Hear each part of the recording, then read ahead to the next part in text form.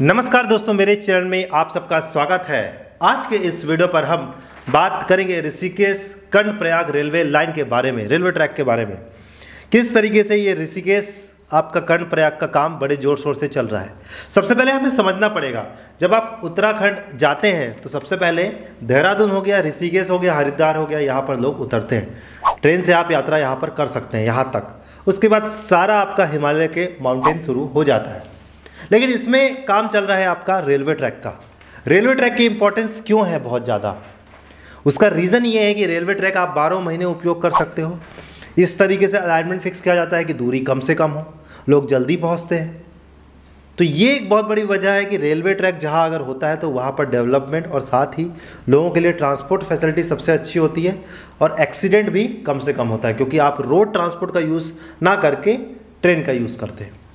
चलिए, आज के इस वीडियो पर हम बात करेंगे ऋषिकेश कर्ण प्रयाग रेल ट्रैक के बारे में। अभी इससे रिलेटेड एक लेटेस्ट न्यूज़ निकल के सामने आई। सबसे पहले हम लोग देख लें कि इस रूट में कौन कौन से स्टेशन आ रहे हैं। इसमें आ रहे हैं आपका ऋषिकेश, शिवपुरी, ब्यासी, देवप्रयाग, श्रीनगर धार देवी रुद्रप्रयाग, गौचर और कर्णप्रयाग टोटल जो आपकी, इसकी डिस्टेंस है 125 किलोमीटर है। दोस्तों, एक बात जानकारी के लिए आपको बता दूँ कि 125 किलोमीटर में आपका 100 किलोमीटर आपका टनल और ब्रिज का स्ट्रक्चर है। रेलवे ट्रैक को बिल्कुल स्ट्रेट रखा गया है। कम से कम आपका दूरी तय करें। अभी इससे रिलेटेड एक लेटेस्ट न्यूज़ निकल के सामने आ रही है। वो लेटेस्ट न्यूज़ ये है कि एल कंपनी ने आपका 1200 मीटर एन मेथड एक टनल का मेथड का एक प्रकार होता है। उस मेथड से शिवपुरी से ब्यासी के बीच में 26 दिन में आपका 1012 मीटर की टनल को कंप्लीट किया है, जो कि अपने आप में एक बड़ा अचीवमेंट है।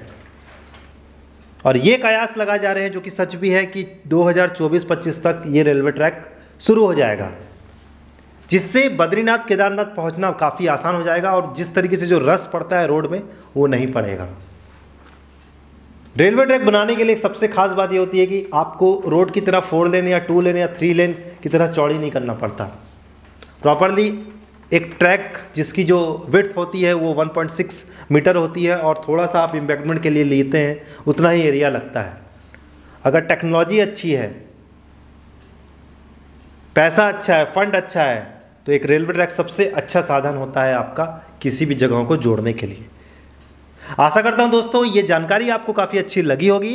इस तरीके के वीडियो के लिए चैनल को सब्सक्राइब करना मत भूलिए। तो चलिए मिलते हैं अगले इंटरेस्टिंग वीडियो में।